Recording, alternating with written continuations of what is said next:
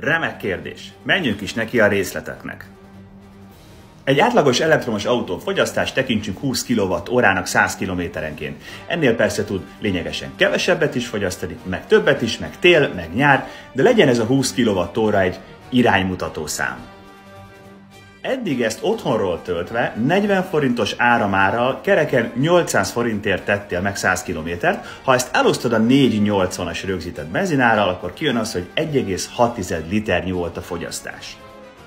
Ha ugyanezt persze a 800 forintos jövőbeli benzinárral osztod el, akkor az derül ki, hogy bizony 1 liter volt a fogyasztásod. Most jön a csavar.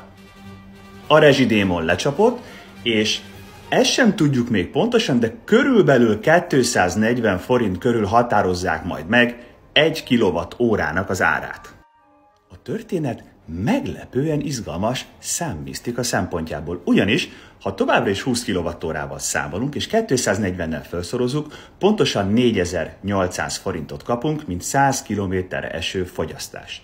Ezt ha elosztod 480 forinttal a limitált benzinára, akkor úgy jön ki, mintha 10 litert fogyasztana az elektromos autó 100 kilométeren. Persze ez csak egy forgatókönyv a lehetséges sok közül. Ha például napelemről töltöd akkor, amikor süt a nap, mint például most, akkor könnyen előfordulhat, hogy mindez kvázi nulla forintotba kerül. Tehát nagyon sok szereplő van, ez egy forgatókönyv volt, de körülbelül ezzel is már értjük, hogy zárkóznak föl egymáshoz a költségek.